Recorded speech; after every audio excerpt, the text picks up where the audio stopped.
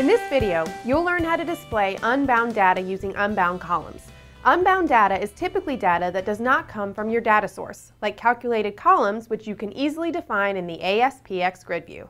To begin, I've added an ASPX grid view control and access data source control and linked them to the products table of the Northwind database. Initially, the grid displays products, the price, and the amount.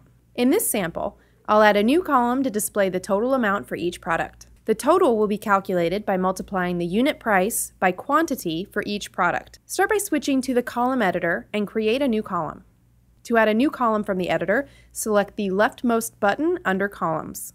A drop-down listing the types of columns will be displayed. Select Spin Edit Column. Since this new column isn't bound to any field in the data source, you want to specify the data type. In this case, for total, choose decimal.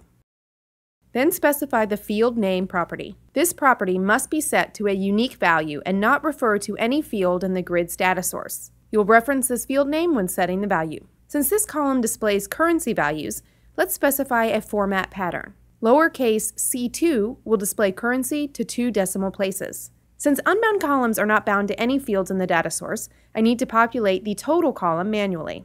To do this, I'm going to handle the custom unbound column data event. The custom unbound column data event is raised only for unbound columns when the ASPX grid view is loaded. The event is fired for each data cell. Within the event, I'll obtain the processed product's price and quantity. Then, using these values, I'll calculate the total amount for the new column. And that's all you have to do to add unbound columns.